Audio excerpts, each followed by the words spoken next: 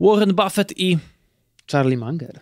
Mam nadzieję, że cokolwiek mówią ci te nazwiska, a przynajmniej to pierwsze, bo mówić będziemy o tym, co powiedzieli, e, co powiedziały tuzy inwestycyjne, e, które doświadczeniem mogą się pochwalić ogromnym, o czym świadczy ich sędziwy wiek. Myślisz, bo... że każdy, kto ma sędziwy wiek, powiedziałbym, że taki już zaawansowany, jest w stanie to przełożyć na doświadczenie? Nie, ale w tym przypadku z pewnością tak jest, bo mówimy tutaj o dla niektórych największym inwestorze giełdowym, jaki kiedykolwiek stąpał po tej ziemi, czyli oczywiście mowa o Warrenie Buffetcie.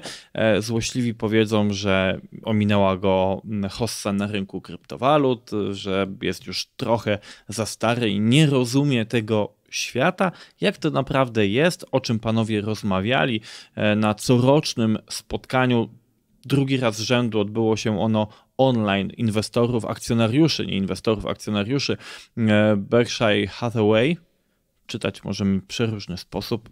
Możecie zaproponować swoją wymowę. E, I co to się ma do Robin Hooda? No i powiedzieli tak dużo rzeczy, że aż Melinda odeszła od Billa.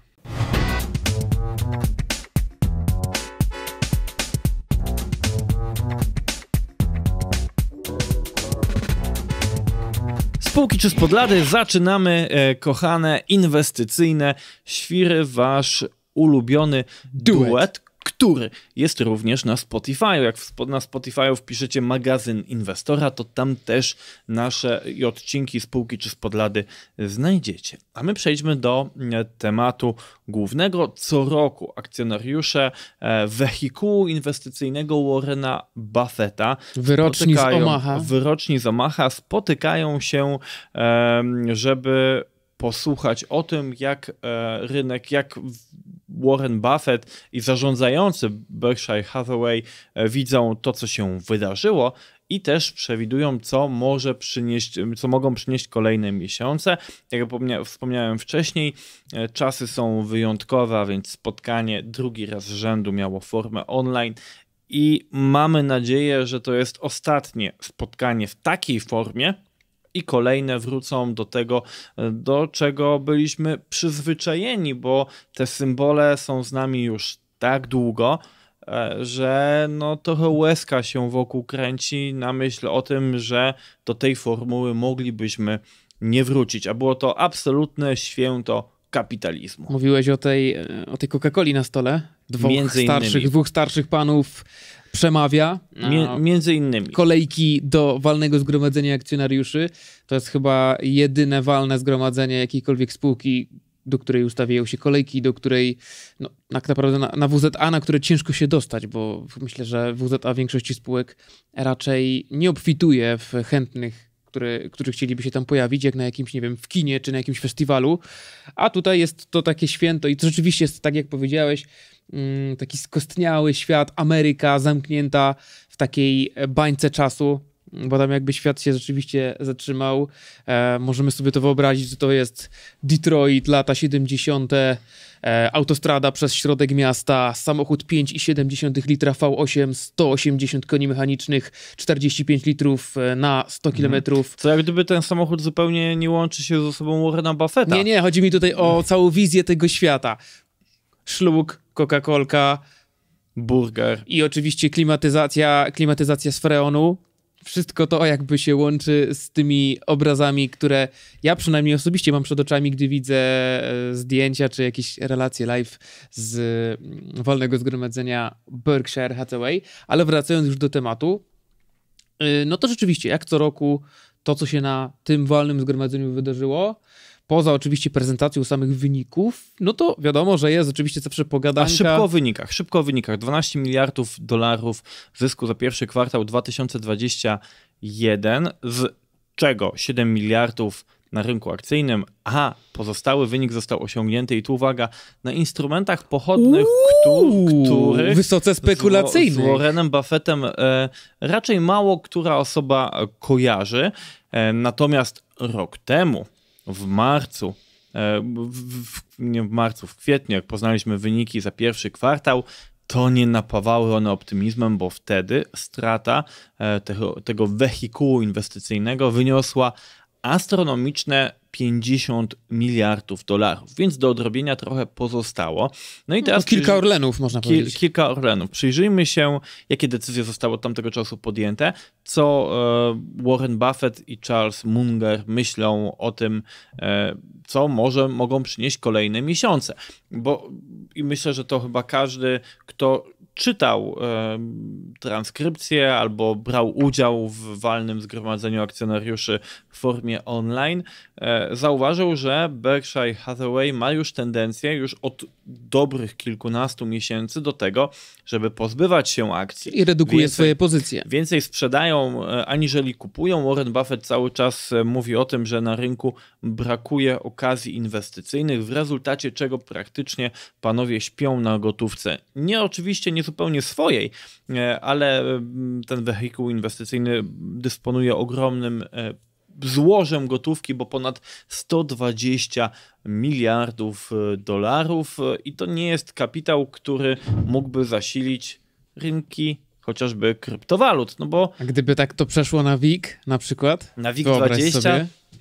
na pewno zrobiłoby, e, na pewno zrobiłoby sporo zamieszania. Warren Buffett odniósł się, czy panowie też odnieśli się do tego, w jakich czasach przyszło nam żyć pod kątem inwestycyjnym. A więc do aplikacji typu Robinhood, typu e, i handlu bez e, prowizji, e, czyli handlu zachęcającego do nadmiernych transakcji, do overtradingu, tak to nazwijmy, no tak. bo chyba tak panowie postrzegają tego typu no aplikacje. No tutaj opinia, opinia była dość, oczywiście poza standardowym, tradycyjnym już od paru lat mm, najeżdżaniem na Bitcoina, pojawiła się też nowość, czyli właśnie Robinhood i wszelkie tego typu aplikacje do tradingu, które są, jak to mówią, commissions free, czyli nie płacimy w nich za stawianie zleceń. Nie płacimy po prostu prowizji maklerskich.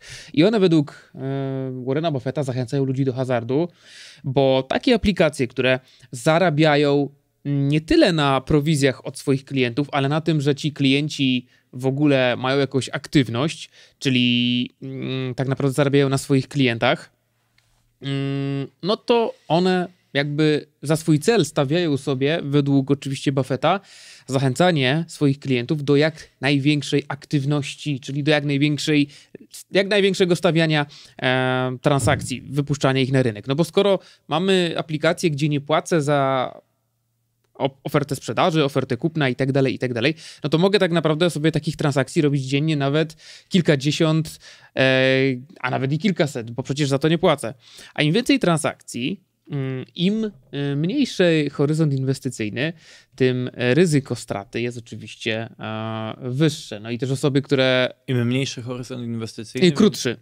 Im krótszy horyzont inwestycyjny. I wiadomo, że jeżeli ktoś jest skalperem, to ma większą szansę na to, że straci swój kapitał, niż osoba, która jest swing traderem, chociaż tutaj oczywiście w grę wchodzą różne niuanse, ale w to nie będziemy wchodzić. Dużo niuansów i myślę, że to jest trochę, trochę zbyt spłuciłeś ten temat, bo nie zgodziłbym się z tym, że mają większą szansę na stratę kapitału e, niż osoby średnio czy długoterminowe, bo to wszystko zależy od tego, jaka jest przyjęta strategia, bo jeżeli się trzymamy naprawdę mocnych zabezpieczeń, e, żeby nie popłynąć nie wiem, na psychice. No tu jest tak wiele elementów, to jest tak wielowymiarowy świat, że wydaje mi się, że to, to, to nie, jest tak, nie jest tak do końca i to spłycenie nie jest nie jest Bardzo się cieszę, że o tym powiedziałeś, bo właśnie o tym wielowymiarowym świecie było w ostatniej lekcji Akademii Inwestora, bo tam pojawiły się najpopularniejsze inwestycyjne mity.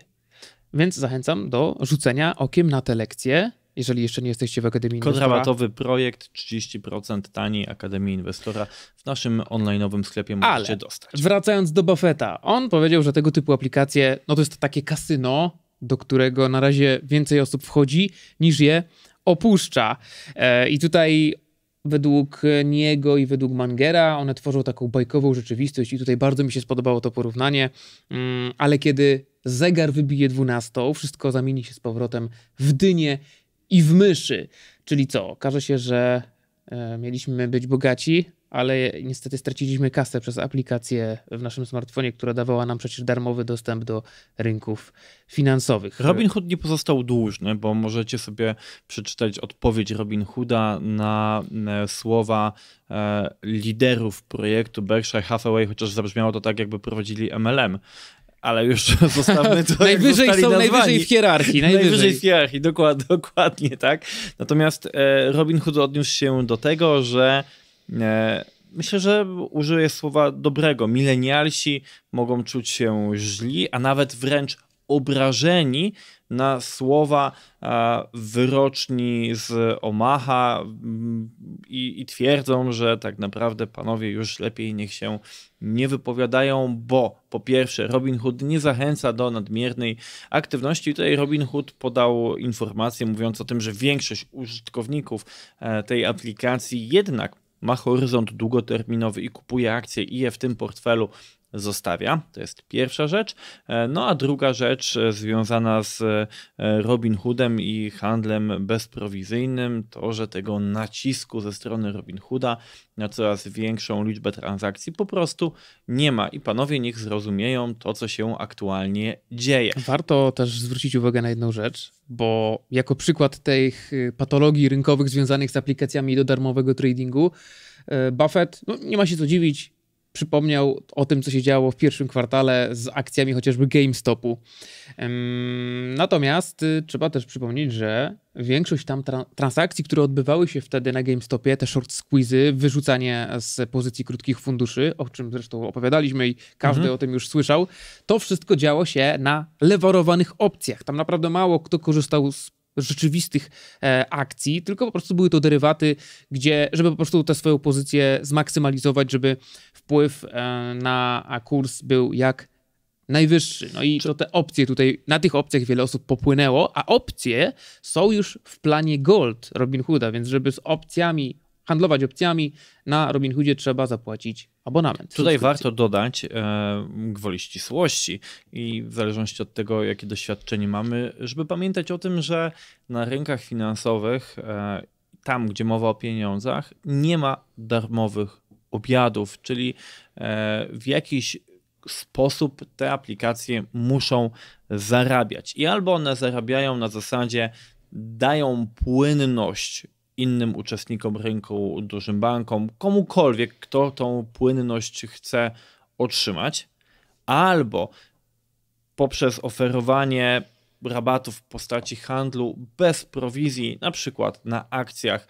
E, liczą na to, że inwestor skusi się na instrumenty pochodne, bardziej ryzykowne, gdzie zysk brokera domu maklerskiego jest zdecydowanie wyższy aniżeli w przypadku tak, rynku tak, akcyjnego. On tam tworzy rynek. E, to są takie dwa najpopularniejsze modele, które funkcjonują. Powinniśmy być po prostu świadomi. No i trzecia oczywiście rzecz to sprawdzenie, jak wyglądają gwarancje, licencje, po to, żeby i to w zasadzie bez względu na to, jak wyglądają i kształtują się prowizje, to powinniśmy po prostu sprawdzać, żeby nasze finanse, nasze inwestycje były po prostu bezpieczne. Porozmawiajmy jeszcze o payment for order flow, czyli tym właśnie na czym tak naprawdę zarabia Robinhood, czyli na przerzucaniu z ofert swoich klientów do innego podmiotu, który je realizuje. Najczęściej są to HFT, czyli yy, duże Mm, fundusze, które stosują właśnie strategię e, handlu algorytmicznego mhm. o wysokich częstotliwości. Są to też banki inwestycyjne,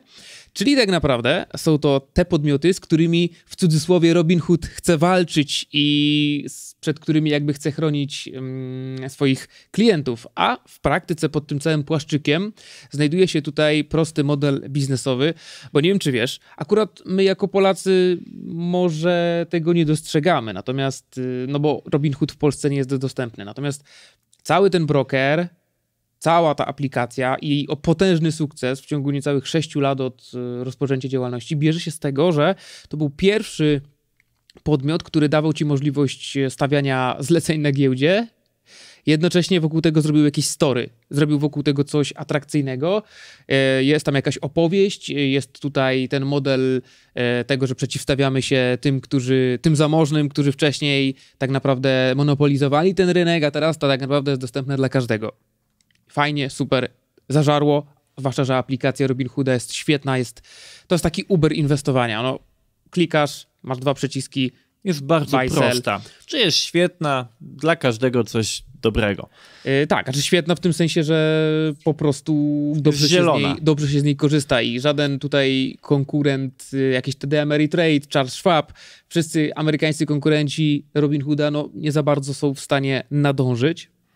Natomiast to, co jest istotne, to to, że w pierwszym kwartale tego roku e, Robinhood z samego mm, właśnie tego przychodów z payment for order flow, czyli z tego przekazywania mm, zleceń swoich klientów dalej, na czym on zarabia, e, o przychody wyniosły 331 milionów e, złotych w samym dolarów Dolarów. dolarów w samym pierwszym e, kwartale. Dla porównania w zeszłym roku, w pierwszym kwartale to było niewiele ponad 90 Mhm. milionów, co jakby pokazuje tę ogromną skalę. Tutaj trzeba też wziąć pod uwagę to, że w pierwszym kwartale co się działo na GameStop, na KOS, e, na, no bo MC jeszcze i tak dalej, to myślę, że Wyniki pamiętamy. brokerów pokazują jednak, bo tutaj jednak korelacja między wynikami Robinhooda, wynikami XTB czy plus 500, ona jest.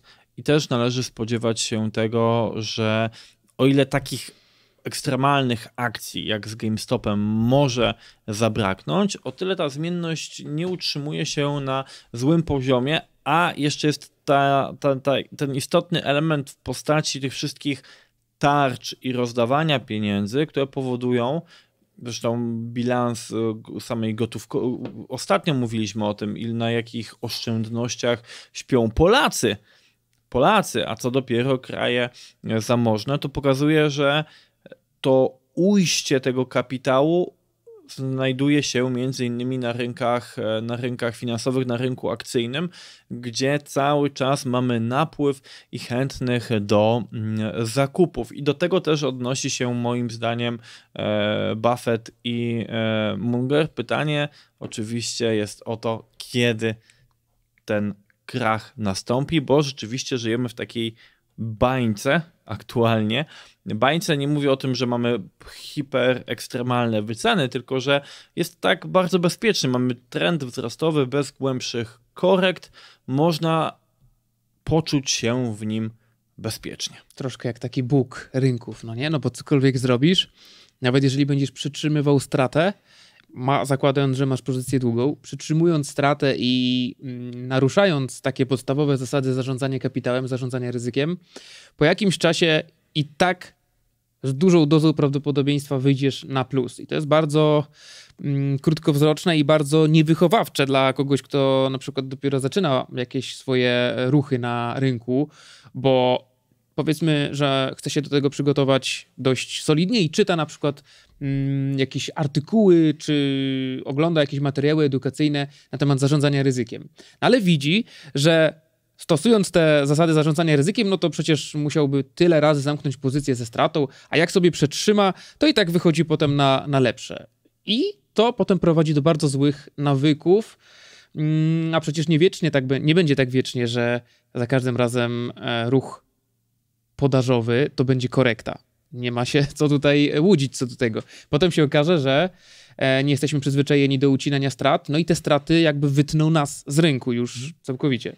Munger powiedział jeszcze takie ciekawe, ciekawe zdanie e, na temat aplikacji Robinhood i inwestowania w tego typu aplikacje e, z poziomu właśnie tak wielkiego e, biznesu, jakim jest Berkshire Hathaway.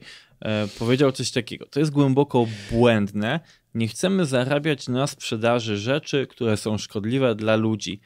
No i to mówi osoba, która e, reprezentuje firmę, która ma potężne udziały chociażby w Coca-Coli. O tak, no to tak. No i też jest ubezpieczycielem i to e, Berkshire Hathaway miał no, multum spraw, w których y, sądowo jakby swoim klientom pokazywał, że jednak y, nie należy im się odszkodowanie. Albo, że y, no, wiele, wiele różnych y, kruczków takich dotyczących, zrobiących wszystko, żeby nie wypłacić odszkodowania. E, natomiast no to wiadomo, no, każdy dba o swój biznes, prawda? Tak jest. Nie, nie, nie dziwmy się, że ubezpieczalnie nie chcą wypłacać odszkodowania za wieloletnią o, jakby opłacaną polisą, bo no, dbają o swój portfel. Oczywiście, Ale- w, por- w portfelu Buffetta znajdziemy m.in. akcje Apple, co jest oczywiście mega dobrą inwestycją z perspektywy czasu, patrząc tego, jakie wyniki. No z perspektywy Spółka tego, kiedy Berkshire wszedł w Apple, to tak średnio. Tak, ale mimo wszystko, mimo wszystko dobrze, że weszli. Mogę się pochwalić, że miałem akcję Apple wcześniej niż Berkshire Hathaway. ale nie miałeś wcześniej akcji niż Warren Buffett. Oprócz e, Apple'a mamy Coca-Colę, American Express, Bank of America, pozbył się Buffett linii lotniczych, pozbył się ich w dołku cenowym i wyjście z tej transakcji e, uznają, uznali panowie za bardzo dobre, bo jak stwierdzili, e, w tym planie pomocowym mogło się wydarzyć tak, że spółki, które są reprezentowane jest akcjonariusz z budżetem, mogły być pominięte w tarczach antykryzysowych.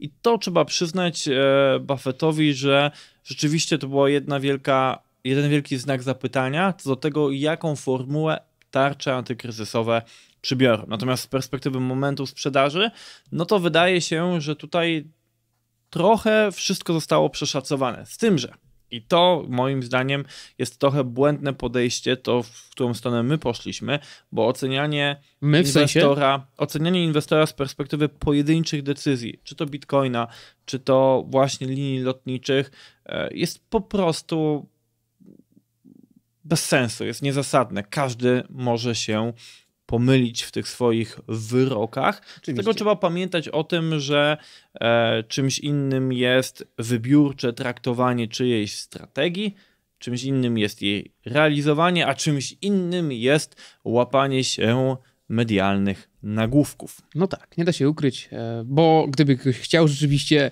próbować obalić e, mit e, wyroczni z Omaha, no to pewnie by sobie tam coś poznajdował. Z tym, że nigdy chyba nikt nie przedstawił Warrena Buffetta jako kogoś nieomylnego. Warren Buffett też wielokrotnie popełniał wiele błędów. Na pewno burę dostał za bańkę dotcomów, bo wtedy nie wiedział, którą spółkę do portfela wybrać i ta bańka go minęła. Było tutaj takich kilka. Tak, tak, a to właśnie chodzi o to, że mm, chodzi o to, że tutaj cokolwiek w tej chwili jakiekolwiek błędy by popełniał, a ma do nich prawo każdy inwestor, bo nie ma inwestorów, którzy nie popełniają błędów, szczególnie ta, takich, którzy są na świeczniku. Mm, No, liczy się i tak ostateczny wynik, liczy się stopa zwrotu, liczy się procent składany, który jest generowany z aktywów. I A dla to- niektórych liczy się fan z tego, co robią. Swoją drogą, to tak. No. Co depozyt, to upalę, ale wypłata to kolejny. Jakoś, jakoś, się, jakoś tam się leci, nie? A już tak całkowicie. Pa... dawno nie, dawno nie, nie, nie czułem tego uczucia, Jakiego? tego przepalenia depo. To jest. Dobrze jest czasami zapomnieć, jak to. Ale to że jak? jest. Aha, że i potem musisz wpłacać i. No, No, że, że wiesz. Je. osobom, ale to które już- mają, osobom, które mają to uczucie i rzeczywiście co jakiś czas muszą uzupełniać swoje konto, e, swoje konto brokerskie, polecam IKE i jakieś spółki, które nie będą od nich wymagały żadnej aktywności. Naprawdę, polecam. To będzie dla Was w ostatecznym rozrachunku znacznie korzystniejsze niż upalanie kapitału. A jeżeli chcecie fanu, no to sobie, nie wiem, jakąś gierkę online grajcie czy coś. Nie wiem, Jezu, jaki mówię, jakiś stary boomer. No, strasznie, strasznie. Przepraszam, A przepraszam. nie wyglądasz. TikToka sobie za... TikToka sobie zainstalujcie. Em, Kilka jeszcze ogłoszeń na sam koniec. fxmac.pl łamane przez praca. Tam możecie aplikować i e, mam nadzieję, że do naszego zespołu chcecie dołączyć, e, też e, tworząc treści, ale nie tylko osoby tworzące treści są u nas potrzebne i mile widziane, więc serdecznie zachęcam do tego, żeby sobie zobaczyć fxmac.pl łamane przez Może jakiś... praca. E, Przede wszystkim szukamy osób do naszego biura w Krakowie. Tak, biura krakowsko-częstochowska. Nie, nie biura krakowsko-częstochowska, tylko dokładnie biura w e, Krakowie. E, no i kolejne ogłoszenie o Akademii wspomnieliśmy, o magazynie inwestora. Tak on wygląda. Już pracujemy nad kolejnym wydaniem. Ostatnie 130 stron, 30 artykułów o różnej inwestycyjnej tematyce fxmac.pl łamane przez sklep. I może pasowałoby ten live zakończyć jakimś No nie mądrym, e, pff, nagranie zakończyć jakimś mądrym cytatem, czy nie wiem, powiedzeniem, czy Robin, czymś, co... może troszeczkę taki żarcik, no nie, ale to będzie słaby żarcik, od razu mówię. Mówimy tak, że Robin Hood, Robin Hood, Robin Hood, a tu się wszystko wskazuje na to, że Robin grubu, grubu w ostatnim czasie, miał bardzo dobre wyniki, ale jako, że to nie jest spółka publiczna, to my możemy się tylko i wyłącznie domyślać, jak tam finansowo się w tej spółce dzieje. Ale już niedługo, bo prawdopodobnie pod koniec drugiego kwartału, czyli no prawie że na dniach, Robin Hood ma się pojawić na Nasdaqu i wtedy będzie musiał publikować e, już autoryzowane, nie tyle autoryzowane, co audytowane wyniki sprawozdania finansowe i tam będziemy wiedzieć, ile z tych przychodów spółki bierze się rzeczywiście z przekazywania ofert swoich e, klientów innym podmiotom, czyli z payment for order flow, a ile tak naprawdę bierze się na przykład z tych e, subskrypcji. I to jest ostateczne potwierdzenie tego, że to jest dobry czas dla branży maklerskiej, bo zresztą pod koniec drugiego kwartału, a może w trzecim kwartale, na giełdę wybiera się również e, bardzo, bardzo duży broker, jakim jest eToro.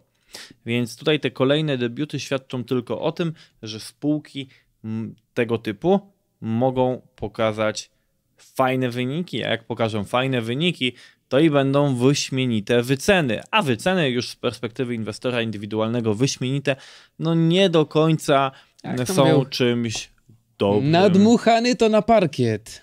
Dokładnie, brzmi jak to, nadmuchany to, to na parkiet. ale no, taka prawda, no. Cóż zrobisz? Kochani, udanych inwestycji. Słyszymy się nie wiem kiedy, no, na kolejnym naszym nagraniu zapewne. Tak będzie.